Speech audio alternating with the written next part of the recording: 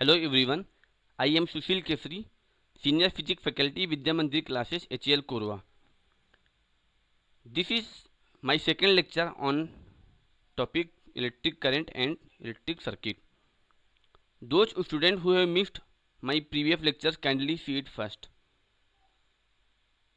Today we are going to discuss electric circuit, electric bell and electric bulb. So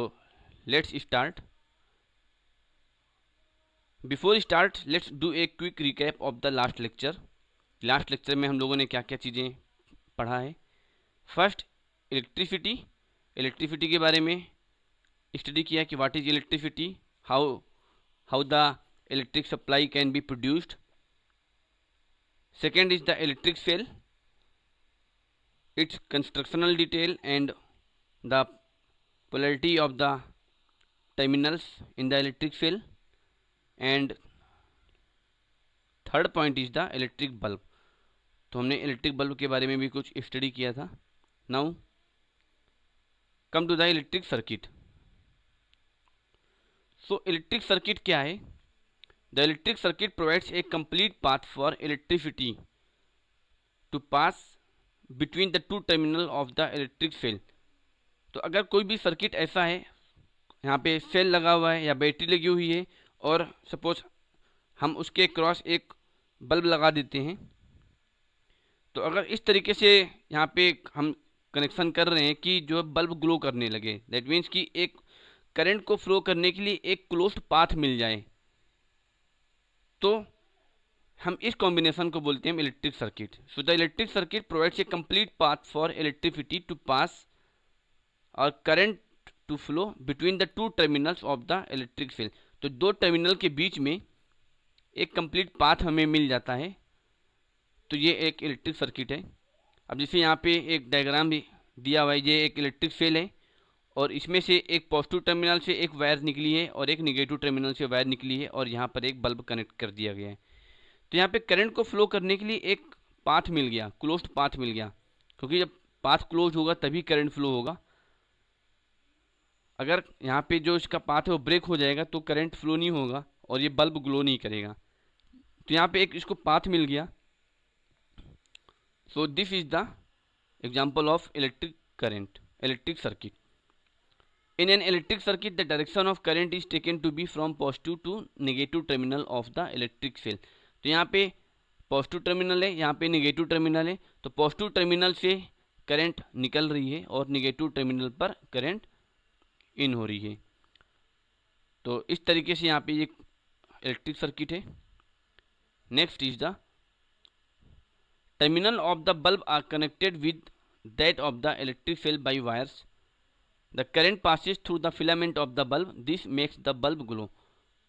तो यहाँ पे electric cell से जो है वायर के थ्रू करंट पास हो रहा है अगर सर्किट क्लोज्ड है और फिर जब करंट क्लोज सर्किट क्लोज्ड है बल्ब में करंट जा रही है तो फिर वो बल्ब ग्लो करेगा now close circuit and open circuit तो हम किसको क्लोज सर्किट बोलेंगे और किसको ओपन सर्किट बोलेंगे देख लेते हैं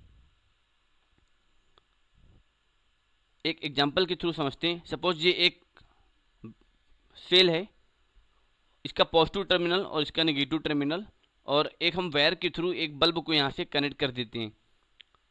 so we will observe that the bulb glow when it is connected across the electric cell in a close path तो यहाँ पे अब करंट को फ्लो करने के लिए एक क्लोज पाथ मिल गया तो यहाँ से पॉजिटिव टर्मिनल से करंट आउट होगी और इधर से निगेटिव टर्मिनल पे करंट इन होगी तो एक कंप्लीट पाथ मिल गया एक तो ये एक इलेक्ट्रिक सर्किट है और कैसा इलेक्ट्रिक सर्किट हो जाएगा ये ये एक क्लोज सर्किट हो जाएगा क्यों क्योंकि करंट जो है वो इस पूरे कंप्लीट पाथ में फ्लो हो रही है So in this circuit the electric current flows from one terminal of the cell through the bulb to the other terminal. Such a circuit is called as the closed circuit. तो bulb के through यहाँ से connect या ये एक wire है ये close ये कंडक्टिंग वायर है तो ये एक क्लोज लूप बनाएगा क्योंकि करंट को एक पूरा पाथ मिल गया है बट अगर हम यहाँ पे इस डायग्राम में देखें तो यहाँ पर जो वायर है ये ब्रेक है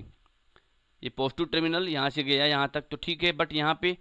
ये ब्रेक हो गया है डिस्कनेक्ट कर दिया गया है wire so when we disconnect a wire from any terminal of the bulb और cell the current is not able to flow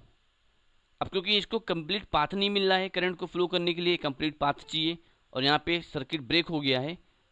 तो करंट फ्लो नहीं होगा और जब करंट फ्लो नहीं होगा तो ये जो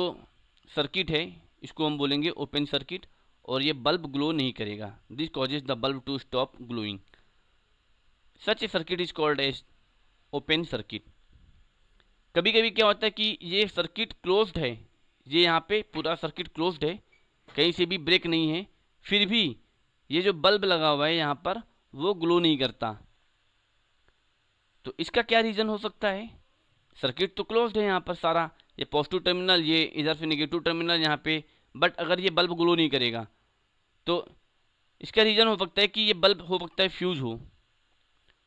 तो अगर ये बल्ब फ्यूज है तो ये सर्किट जो है वो